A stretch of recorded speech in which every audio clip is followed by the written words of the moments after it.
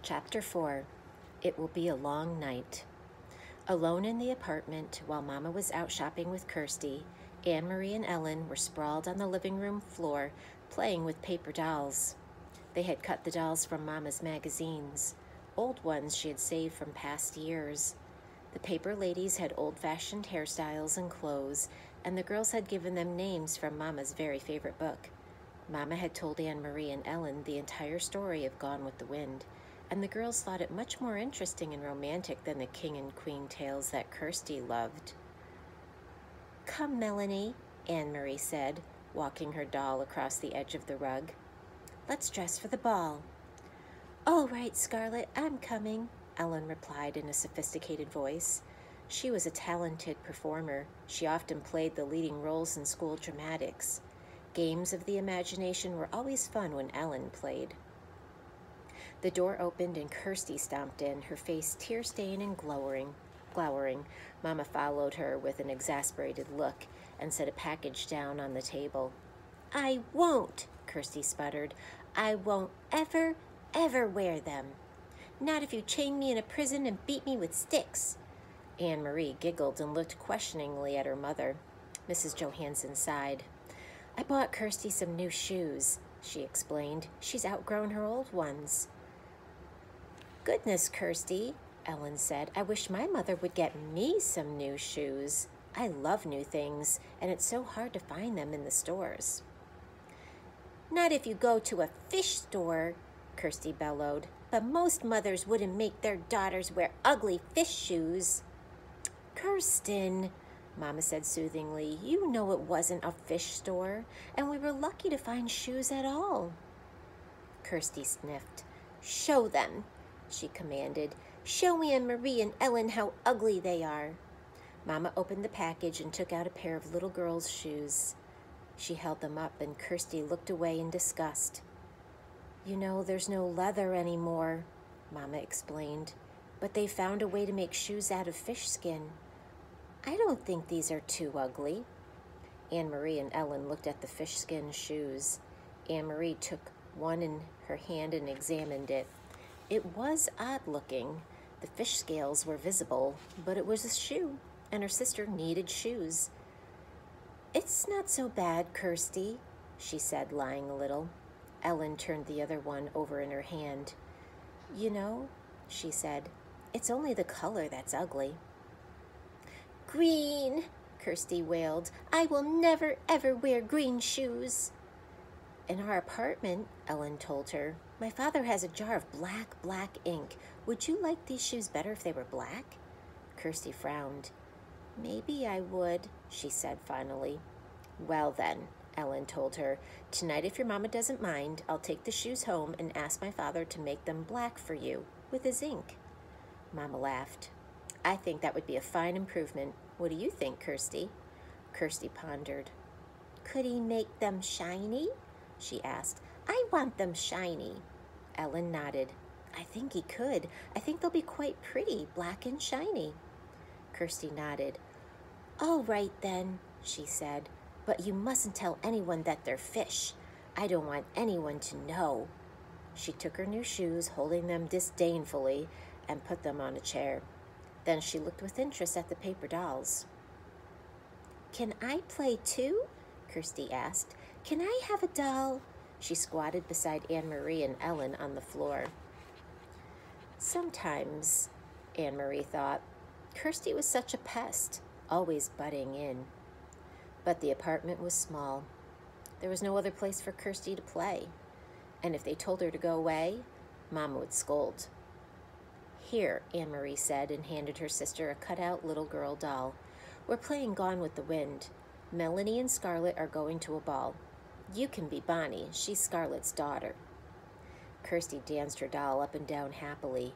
I'm going to the ball, she announced in a high pretend voice. Ellen giggled.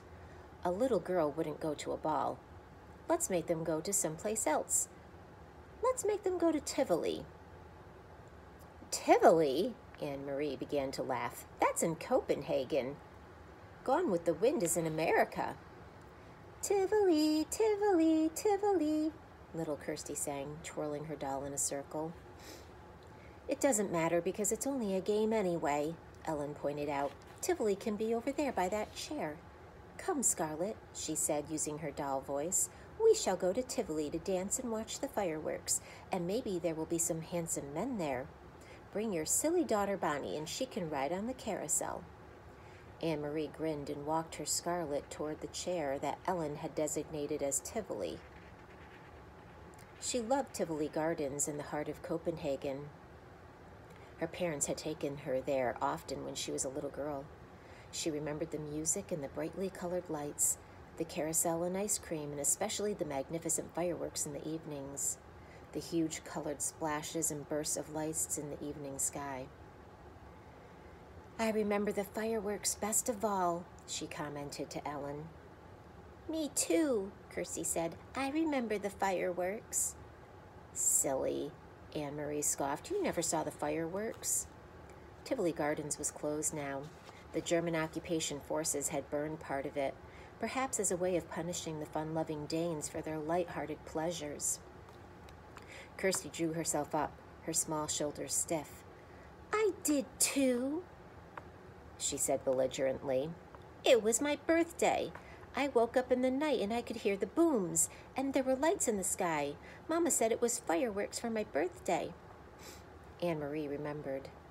Kirsti's birthday was late in August, and that night, only a month before, she too had been awakened and frightened by the sound of explosions. Kirsti was right. The sky in the southeast had been ablaze, and Mama had comforted her by calling it a birthday celebration. Imagine such fireworks for a little girl five years old, Mamma had said, sitting on their bed, holding the dark curtain aside to look through the window at the lighted sky. The next evening's newspaper had told the sad truth. The Danes had destroyed their own naval fleet, blowing up the vessels one by one as the Germans approached to take over the ships for their own use. How sad the king must be, Anne Marie had heard Mamma say to Papa when they read the news. How proud, Papa had replied. It had made Anne Marie feel sad and proud too, to picture the tall, aging king, perhaps with tears in his blue eyes, as he looked at the remains of his small navy, which now lay submerged and broken in the harbor. I don't want to play any more, Ellen said. Ellen, she said suddenly, and put her paper doll on the table. I have to go home anyway, Ellen said. I have to help Mama with the house cleaning. Thursday is our new year. Did you know that? Why is it yours? asked Kirsti. Isn't it our new year too? No, it's the Jewish New Year. That's just for us. But if you want, Kirsti, you can come that night and watch Mama light the candles. Anne Marie and Kirsti had often been invited to watch Mrs. Rosen light the Sabbath candles on Friday evenings. She covered her head with a cloth and said a special prayer in Hebrew as she did so. Anne Marie always stood very quietly, awed to watch. Even Kirsti, usually such a chatterbox, was always still at that time. They didn't understand the words or the meaning, but they could feel what a special time it was for the Rosens. Yes, Kirsti agreed happily. I'll come and watch your mamma light the candles, and I'll wear my new black shoes. But this time was to be different.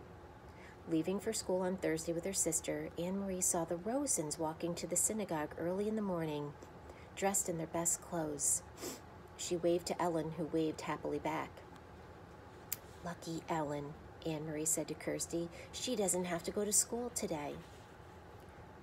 But she probably has to sit very, very still like we do in church, Kirsti pointed out.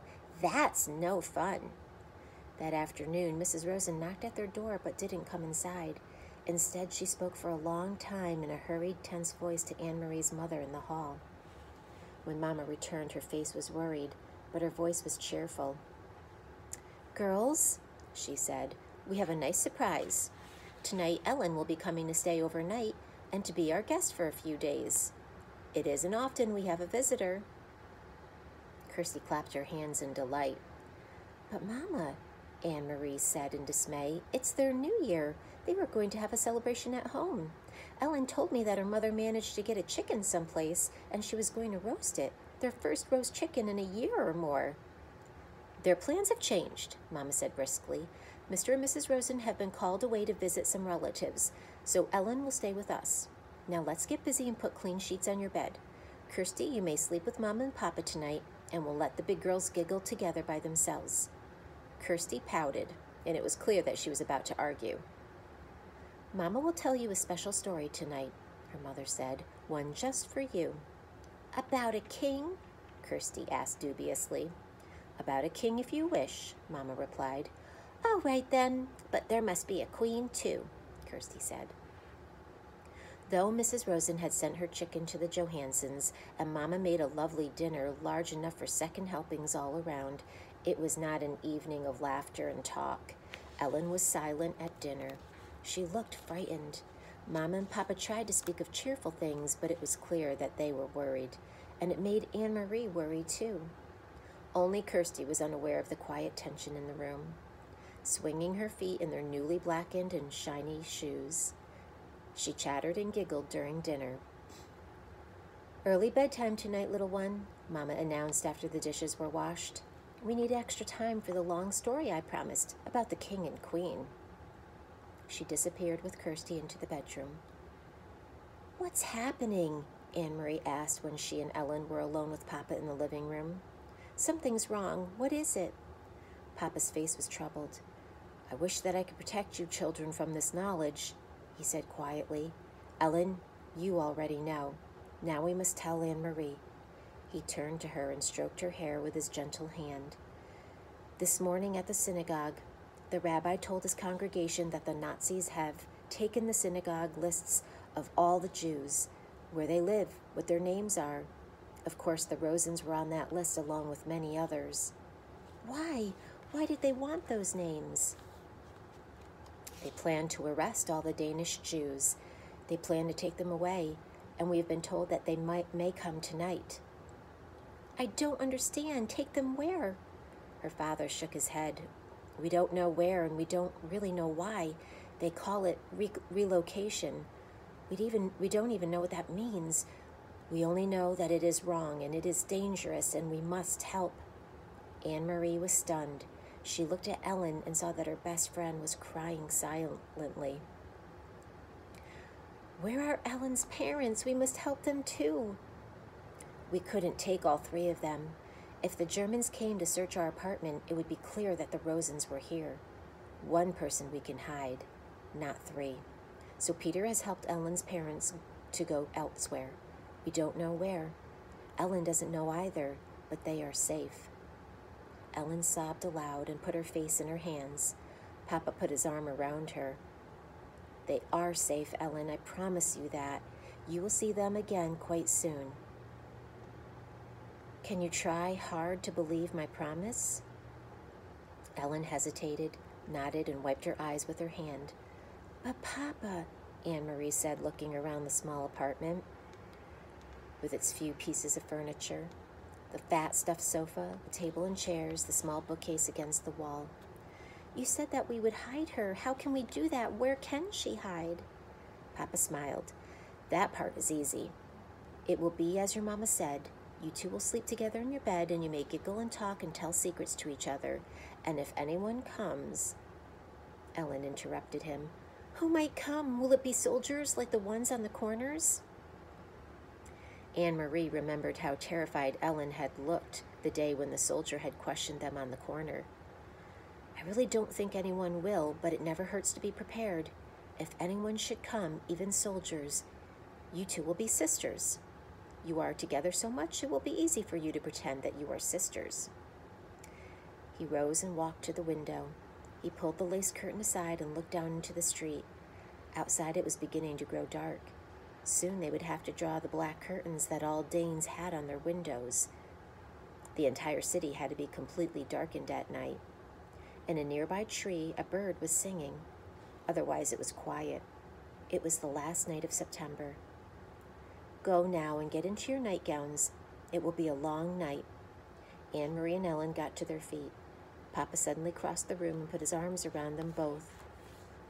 He kissed the top of each head. Anne Marie's blonde one, which reached to his shoulder, and Ellen's dark hair, her the thick curls braided as always into pigtails. Don't be frightened, he said to them softly. Once I had three daughters. Tonight I am proud to have three daughters again.